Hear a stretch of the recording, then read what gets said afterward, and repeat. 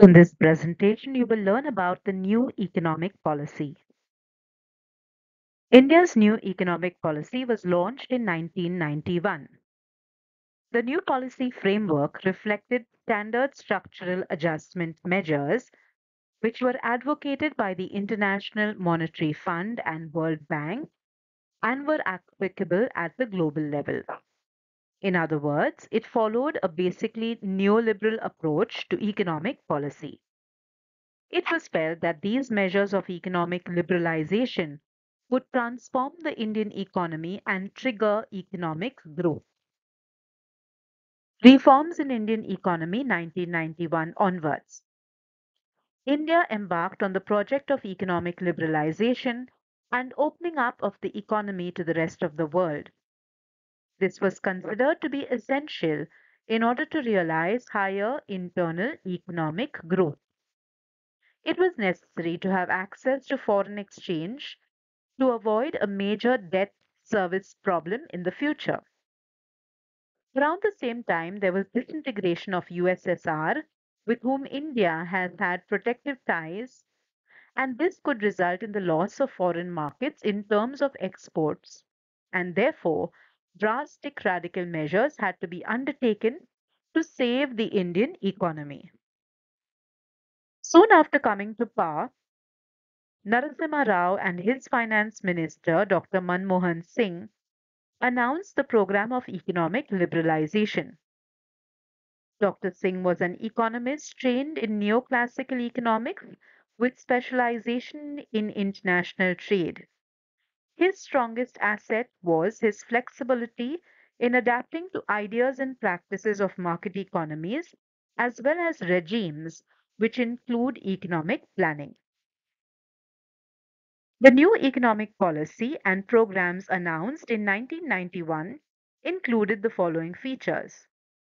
Significant reduction in import tariff, elimination of import quotas except for consumer goods, elimination or reduction of restrictions on foreign ownership, currency convertibility on the trade account, reduction in licensing requirements, easing of regulations and red tape, opening all industries except six to private ownership, and reduction in domestic excise taxes, among others.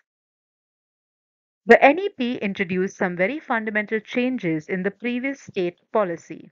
For example, input subsidies, credit, extension services in agriculture were rolled back.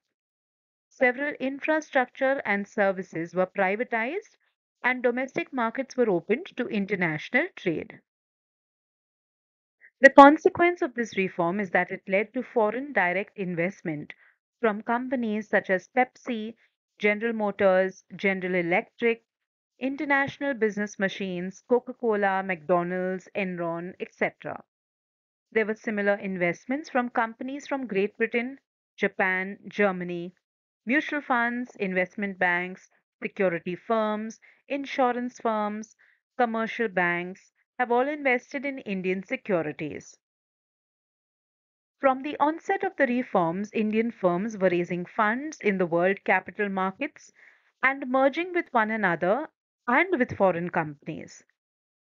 The new economic policy has managed to control inflation and the budget deficit has come down.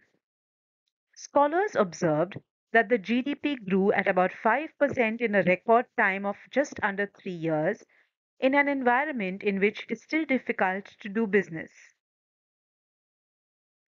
The 1991 reforms were considered a success, so Mr. Rao and Dr. Singh continued the reform process. Universally, the reforms were appreciated in and out of India. The finance minister of the time observed that the reforms were so welcomed in the 1994 95 budget which included reduction in customs duties, reduction in corporate tax, reduction in income tax, and a ceiling on the central bank financing of government debt, beyond which the government had to go to the market.